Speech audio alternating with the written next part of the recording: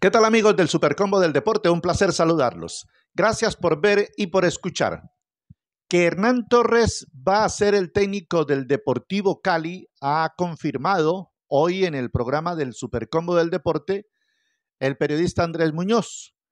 Este joven que desde su cuenta de X ha acertado y ha dado muy buenas primicias acerca del Deportivo Cali especialmente, hoy nos ha dicho una vez más que sus fuentes le han confirmado que Hernán Torres habría aceptado un contrato por año y seis meses, año y medio, que esos seis meses adicionales a lo que inicialmente le ofreció el Deportivo Cali eran los que todavía tenían indeciso al técnico eh, tolimense.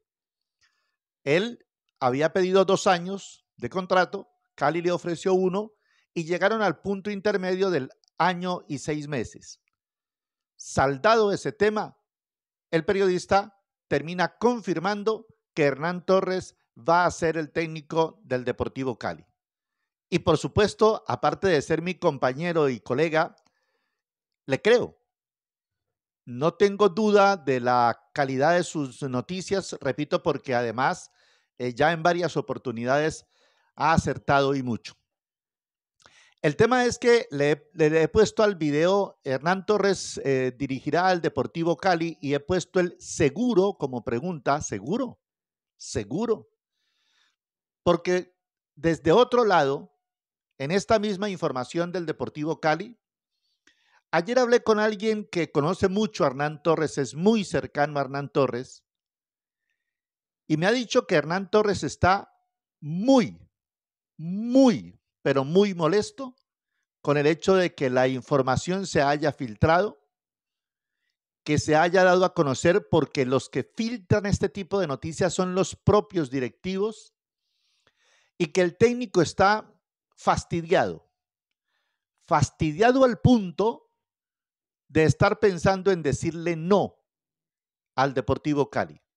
Esto es de anoche, que Hernán Torres está muy cansado de estar recibiendo en su celular llamadas permanentes de directivos del Deportivo Cali, permanentes, preguntándole una cosa, preguntándole la otra, después de que él evidentemente ya les ha dicho, listo, vamos a, charlar, vamos a llegar a un acuerdo, lo, lo han adelantado, pero él hoy está trabajando, él hoy tiene un compromiso, una responsabilidad con el Emelec de Guayaquil, Ecuador, y tiene que cumplir. El día que se vaya, el día que se venga para Colombia, él tiene que dejar lo mejor de su trabajo expuesto en territorio ecuatoriano. El que se haya filtrado la noticia llegó a la prensa ecuatoriana, la prensa ecuatoriana lo manejó, lo filtró, y ya al propio Hernán Torres, después de un partido el fin de semana, le preguntaron que si, eso, que si eso era cierto, lo que ellos por supuesto no verían con buenos ojos, como no se vería con buenos ojos si fuera al revés. Entonces Hernán Torres le dijo que eran simplemente rumores, pero ese día, acorralado contra las paredes, Hernán se sintió muy mal y por esa razón el Deportivo Cali esta misma semana sacó un comunicado que no tenía por qué sacar, que no tiene ningún sentido, pero que se explica a través de la incomodidad del técnico Hernán Torres. Sacó un comunicado aclarando que no tiene técnico todavía, que siguen las conversaciones con varios y en fin, una distracción para que tratemos en la prensa de no manejar mucho el tema de Hernán Torres. Y hoy otra vez se vuelve a confirmar. Yo no sé qué va a pasar si cuando llegue, porque va a llegar, el, mensaje en la cuenta de X eh, de, Andrés Muñoz y del Supercombo de Deporte va a llegar a Ecuador también, otra vez. Y le van a volver a preguntar. Y Hernán Torres dice, estoy fastidiado, estoy cansado, me incomoda mucho, me molesta mucho, porque no solamente su celular recibe cantidad de llamadas y de mensajes de WhatsApp de los directivos del Cali, sino de los periodistas de los periodistas de Cali, que obviamente estamos haciendo el trabajo y estamos haciendo la tarea, de los periodistas de Bogotá, de los periodistas de Ibagué, de los periodistas ecuatorianos, lo bombardean cuando este señor tiene, eh, por ejemplo, el fin de semana un partido contra Liga Deportiva Universitaria de Quito, en el que de ganarlo va a dejar el equipo, si es que se viene para Colombia, en una muy buena posición. Entre otras cosas, él tiene un contrato firmado y lo tendrá que cumplir hasta junio 4, sea cual sea el desenlace. Y con todo lo que ha pasado, seguro estoy que los directivos de la liga no lo van a liberar antes del 4. Así que si el Cali eh, va a comenzar algo eh, y Hernán Torres quiere participar, será con gente de él, pero no con él.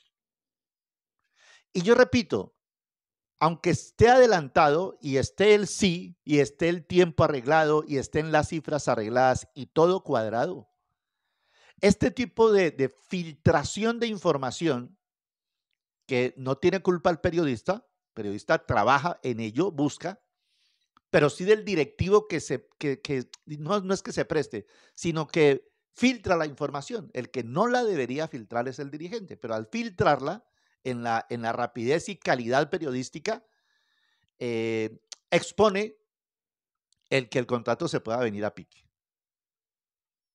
La persona con la que hablé anoche es una persona muy, muy cercana a Hernán Torres. Miren que tuve la oportunidad de trabajar cinco años en la ciudad de Ibagué, por allá en los años eh, ochentas, trabajé y le comenté y hablé mucho tiempo con Hernán Torres, que por aquella época era el arquero suplente de Raúl Navarro, que era el arquero del, del, del Deportes Tolima, en el famoso Cocorico Tolima. Por eso digo que la persona con la que hablé es de también total y absoluta credibilidad. Hernán Torres está muy molesto, tan molesto, que puede llegar a decirle, ¿sabe qué, señores? hasta aquí llegamos. Hasta aquí llegamos. Sí, yo ya les dije que sí a todo, pero esto, esto ya rebasó todo lo que yo esperaba. Estoy muy cansado, no me gusta cómo se está manejando. Hasta aquí llegamos.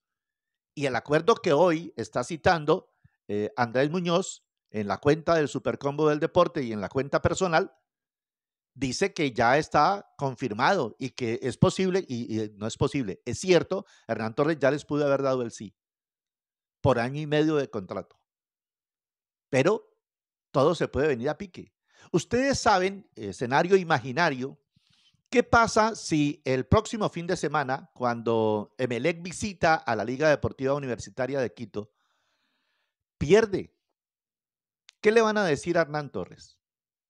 Que ya no tiene la cabeza puesta en el equipo, que está trabajando, que es un pesetero, todo lo que normalmente se le diría a un técnico. Yo repito, y me gusta siempre hacer el ejercicio, miremoslo de si fuera hacia nosotros, si fuera al técnico del Cali el que le le estuviera quitando el técnico.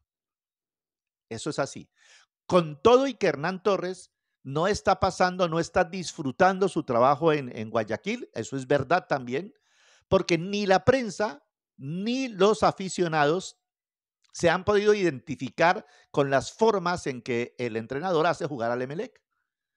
Aquí puede que mm, le guste a un sector del periodismo y de la afición eh, los equipos eh, em, como el Tolima de Hernán Torres, equipos eh, defensivos, pero con argumentos también en contraataque y en fin, les puede gustar. Allá no gustó, no gustó. Y entonces no la pasa bien. Pero aunque no les guste, ha hecho una serie de puntos, está a seis puntos del primer lugar cuando faltan eh, tres fechas para acabarse la primera fase del campeonato ecuatoriano. Entonces yo insisto en que no es fácil para Hernán Torres tener que estar respondiendo y por qué perdió con Liga de Quito y mire cómo perdió y por aquí por allá. Y si gana, le van a decir, y usted va a dejar tirado el equipo ahora que está ganando y cuando está a punto de, clasificarse, porque si gana el Emelec esta, primera fase del campeonato, gana un cupo para jugar la final, allá se juega así, un semestre un ganador, segundo semestre otro ganador, y los dos al final definen quién gana la Liga Ecuatoriana de Fútbol. Lo pusieron en una situación muy difícil por la filtración de la información, que repito, no tiene culpa el periodismo, en todo caso, los directivos no han tenido la sapiencia para manejar una situación que hoy nos tiene en este punto. Hoy se confirma con fechas de cumplimiento de contrato, tiempo de contrato, que Hernán Torres por año y medio acuerda con el Deportivo Cali para dirigirlo en el segundo semestre. Solo falta un detalle, la firma. Y hasta que no esté firmado, no se puede decir lo contrario, es decir, no se puede decir es técnico del Cali. Está todo listo, falta que venga a Colombia y firme el contrato. Pero entre que eso pase, hay una serie de detalles y de aspectos como ese de la incomodidad y de la molestia que por lo que me dijo la persona ayer, cercana a Hernán Torres, está tan aburrido con la situación, tan incómodo, tan harto con la situación, que pudiera en cualquier momento decir, señores, hasta aquí nomás. Cuidado, cuidado, mucho cuidado, porque si no es Hernán Torres el nombre que el Cali le entrega a la afición, yo no sé cómo vaya a, reaccionar la afición. Tanto que se ha esperado, y se ha esperado porque se cree que el nombre va a ser el de Hernán Torres y cae bien en el Cali, tiene buena aceptación. En el Cali en este momento no están mirando las formas, el cómo juega, sino el que sea un técnico ganador de cosas y de puntos, y este técnico puede acomodarse a las necesidades del Cali para el segundo semestre. Pero si mañana el, las, directivas del Cali salen a decir, se nos cayó el tema porque se filtró por tal y tal cosa, entonces ya no viene Hernán Torres, era Pinto, pero a Pinto le hicieron el feo y le dijeron que no, entonces tampoco va a ser Pinto, y entonces va a ser quien sea que den de nombre. No va a ser bien visto, no va a ser bien recibido, y el Cali va a comenzar un nuevo semestre con muchos problemas. Simplemente es información información de dos noticias que son reales, ciertas. Acordado está todo, pero no firmado para que Hernán Torres sea el técnico del Cali.